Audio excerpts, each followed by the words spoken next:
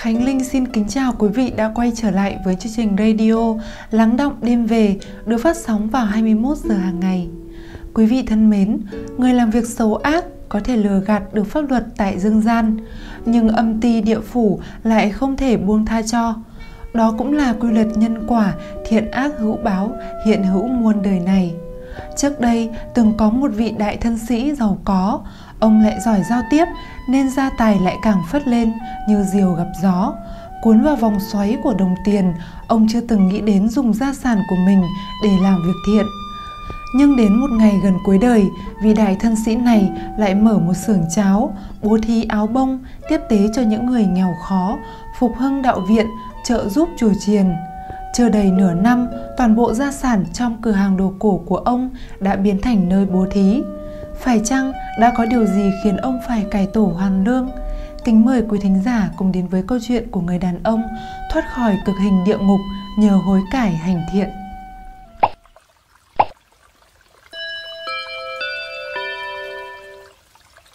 Biết sai hối cải vẫn có tương lai Thoát khỏi cực hình địa ngục nhờ hối cải hành thiện Trước đây tại huyện Hợp Phì, tỉnh An Huy, Trung Quốc Từng có một vị đại thân sĩ tiền tài như nước. Đại thân sĩ là cách gọi người giàu có thế lực hoặc quan đã về hưu thời xưa. Ông mở tiệm cầm đồ, tiệm đồ cổ và quầy đổi tiền. Ông vừa giàu có lại giỏi giao tiếp nên phất lên như diều gặp gió. Tiền giấy mà ông xuất ra chỉ từ một sâu tới năm sâu tiền, chứ không có tiền giấy mệnh giá lớn. Năm nay, ông cho in mới giấy bạc mệnh giá 10.000 đồng. Sau khi in xong, người quản lý mời vị thân sĩ này tới xưởng in thẩm duyệt.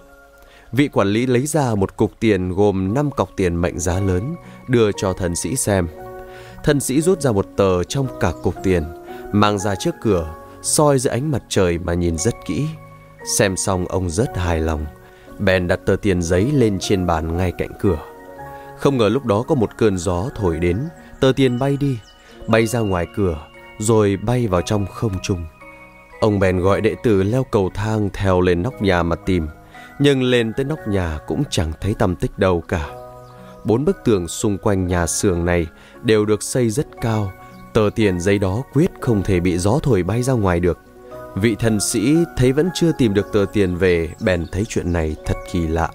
Ông nói với viên quản lý rằng, Ông hãy ghi lại mã số của tờ tiền này sau này Phát hiện ai cầm tờ tiền này tới đổi Thì mời họ tới nhà ta.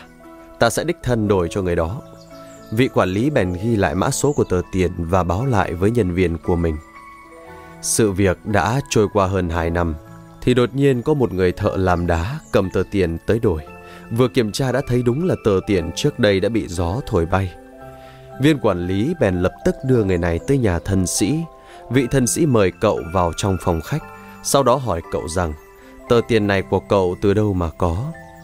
Người thợ làm đá nói, là tiền công tôi đi mài đá. thần sĩ nói rằng, cậu mài cho người ta một cái mâm, thì cùng lắm cũng chỉ 100-200 đồng. Sao người ta lại đưa cho cậu tờ tiền giấy bạc bằng cả 10 sâu tiền thế này?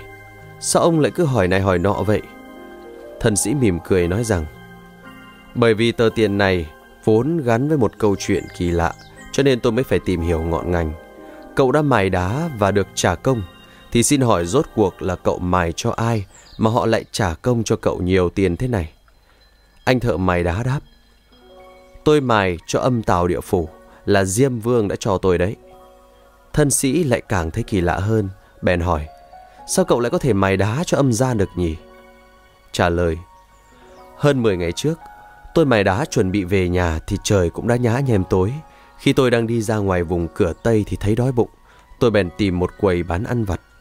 Đúng lúc đó có hai vị sai nhà đi tới Nói với tôi Đi thôi, hãy đi mài đá với chúng tôi. Tôi nói Trời đã tối rồi Ngày mai hẵng đi. Hai vị sai nhà nói Đây là việc công, không nên bỏ lỡ. Nói rồi họ kéo tôi đi Nhưng đường xá lại rất lạ. Tôi chưa từng đi qua những con đường này bao giờ. Mọi ngõ ngách xung quanh huyện Hợp Phì này tôi đều rõ như lòng bàn tay. Ấy thế mà con đường hai người ấy dẫn tôi đi, tôi đều chưa từng đi qua. Trong tâm tôi thấy rất kỳ lạ, ngờ vực. Cũng không biết đi bao xa thì mới đến một thành phố, Buôn bán rất nhộn nhịp, Người chật như nêm. Hai vị sai nhà dẫn tôi tới một quan phủ lớn rồi nói rằng, Ngươi ở đây. Đợi một lúc sau thì mới thấy hai vị sai nhà này quay lại. Họ dẫn tôi vào một sảnh lớn. Trong sảnh có một vị quan đang ngồi, Trông rất uy nghiêm. Ông hỏi tôi, Ngươi là thợ mài đá có phải không? Tôi trả lời là đúng. Vị quan đó nói, Hãy dẫn hắn tới phòng mài. Và rồi nói với tôi, Hãy mài cho tử tế. Hạn trong ba ngày, Nếu ngươi làm tốt thì ta sẽ cho thêm nhiều tiền. Nếu làm không tốt, ta sẽ phạt cái tâm ngươi. Hai vị say nhà dẫn tôi tới phòng mài. Tôi vừa nhìn thì giật cả mình. Từ khi tôi mài đá tới giờ cũng chưa từng thấy cái mâm đá mài nào to như thế này. Mâm đá mài này không chỉ to mà còn có hai con mắt mài Một mắt còn to hơn cả cái lưng người. Hai vị sai nhà giúp tôi nhấc mâm đá mài lên. Tôi vừa lại gần thì một mùi tanh nồng bốc lên. Tôi hỏi vị say nhà Mâm đá mài này to thế này Dùng để làm gì? Hai vị say nhà rất nghiêm khắc nói rằng Hãy nói ít thôi Làm việc đi. Tôi lập tức bắt tay vào công việc. Tôi mài mãi hai ngày Cùng ăn, cùng ở với hai vị sai nhà. Dần dần chúng tôi trở nên thân thiết hơn. Tôi lại hỏi hai vị sai nhà Thứ cần mài này là thứ gì? Hai vị sai nhà nói rằng, Ta nói cho người biết, Nhưng ngươi không được nói cho người thứ hai biết đâu đó. Tôi đồng ý. Hai vị sai nhà nói Nói cho người biết nhé. Đây là mâm đá Dùng để nghiền xác con người đó. Đây là âm tào địa phủ. Sau khi ngươi mài xong Thì sẽ cho nghiền nát ba người này trước. Người thứ nhất là kẻ đồ tể giết bò ngoài cửa phía đông. Người thứ hai là một vị quan Quan lớn tạm thời không dám tiết lộ danh tính. Nói tới đây, anh thợ mài đá không nói nữa. Thân sĩ gặng hỏi mà rằng, Thế còn một người nữa là ai? Thân sĩ trông rất căng thẳng, Quả thực đã khiến người thợ mài đá lâm vào thế bất đắc dĩ. Cậu bèn nói với vị thần sĩ rằng, Hình như tôi nghe thấy nhắc tới tên ông. Thần sĩ nói có ta?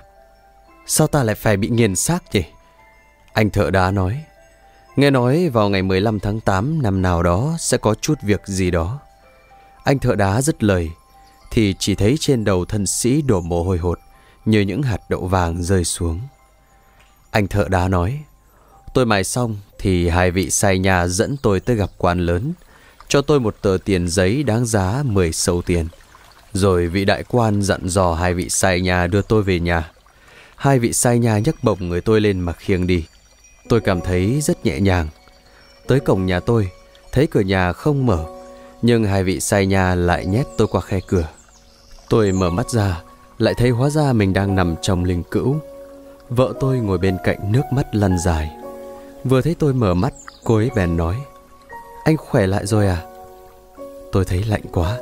Bèn gọi vợ mang cho tôi một bát nước sôi. Tôi từ từ ngồi dậy Và hỏi cô ấy, Sao ta lại nằm ở đây? Người vợ nói với tôi, Hôm đó anh đi mài đá cho người ta, Trời thì đã tối mà vẫn chưa thấy anh về. Em không yên tâm, Cả đêm trằn trọc không ngủ được. Mới tờ mờ sáng em đã đi khắp nơi tìm anh. Nghe người ta nói, Bên ngoài cửa Tây có một người thợ làm đá mới chết. Em chạy tới xem, Thì đúng là anh đang nằm trên mảnh đất cửa Tây.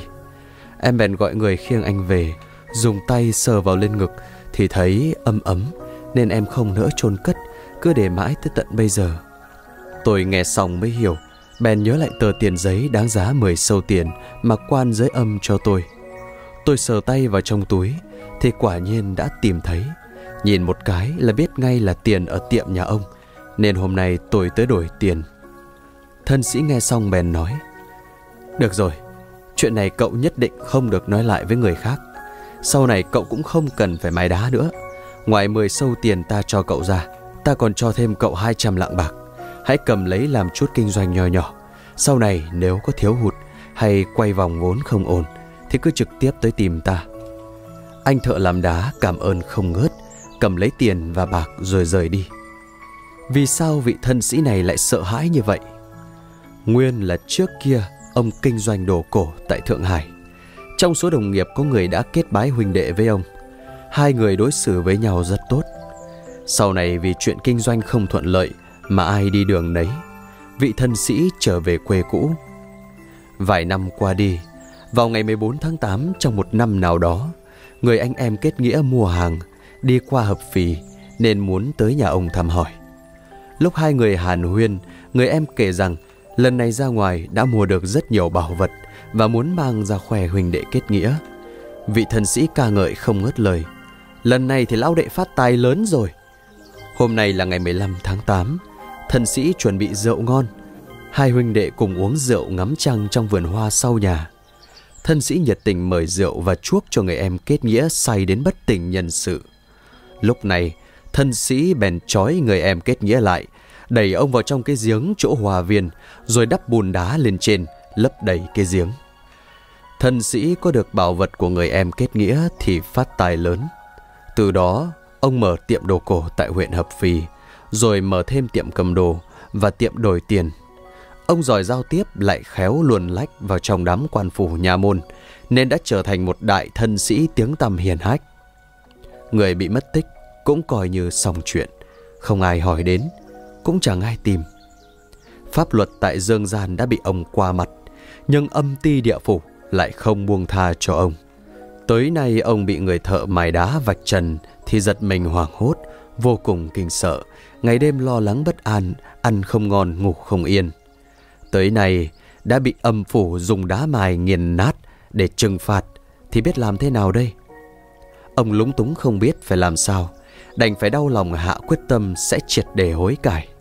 Thế là ông xây thêm một tĩnh phòng trong vườn hoa sau nhà, rồi lập bài vị cho người em kết nghĩa, ngày đêm hương khói cho em, bày tỏ sự hối hận thống thiết và cầu nguyện rằng ta nguyện mang tất cả tài sản đi làm việc thiện.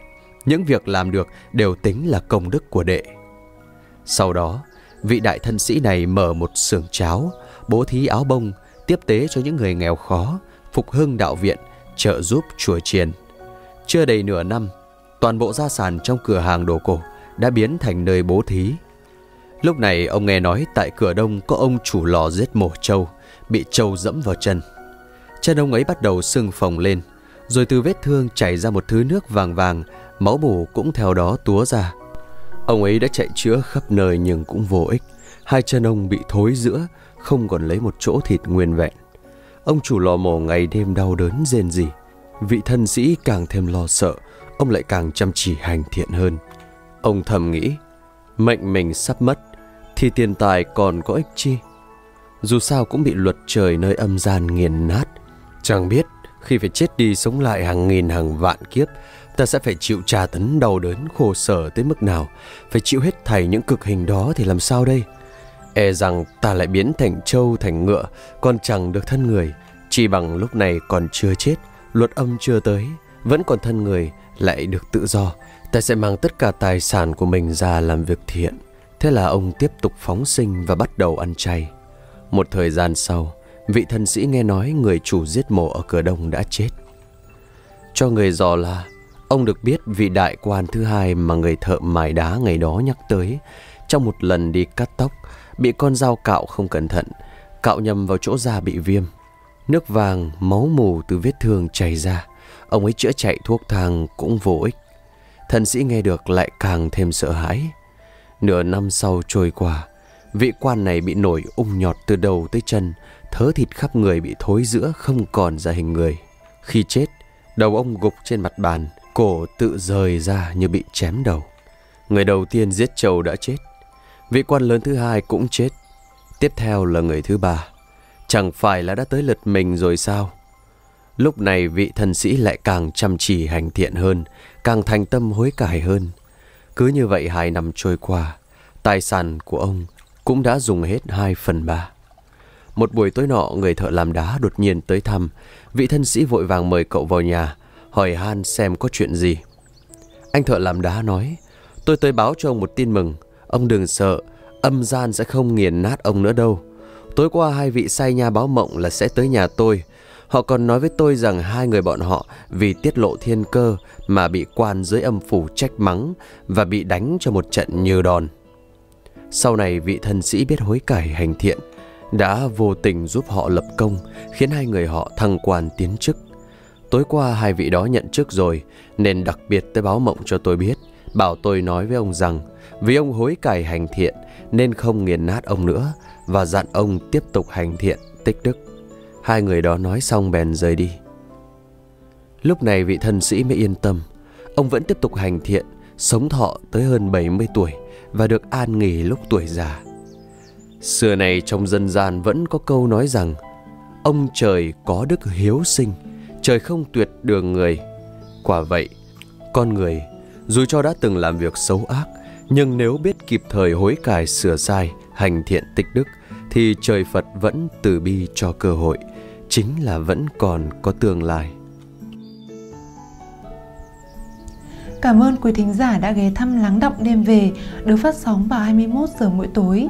Quý thính giả thân mến, với nỗ lực truyền tải những nội dung văn hóa truyền thống được lưu truyền từ ngàn năm, đề cao các giá trị đạo lý nhân sinh, tín ngưỡng đối với thần Phật, Lắng động đêm về hy vọng quý thính giả, có những phút giây chiêm nghiệm sâu lắng sau mỗi ngày làm việc bận rộn. Đừng quên chia sẻ cảm nhận của quý vị ở bên dưới để giúp chúng tôi thực hiện chương trình tốt hơn. Mến chúc quý vị một buổi tối bình an và ngon giấc.